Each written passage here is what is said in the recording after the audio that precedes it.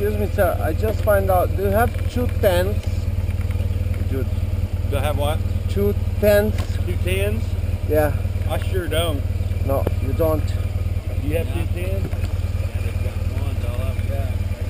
Cause it's twelve dollars, isn't it? Yeah. Three, four, five, five, five, and ten,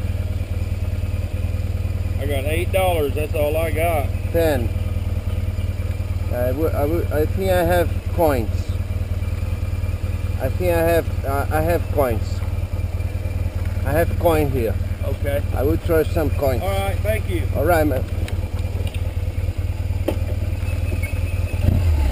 Bye bye now.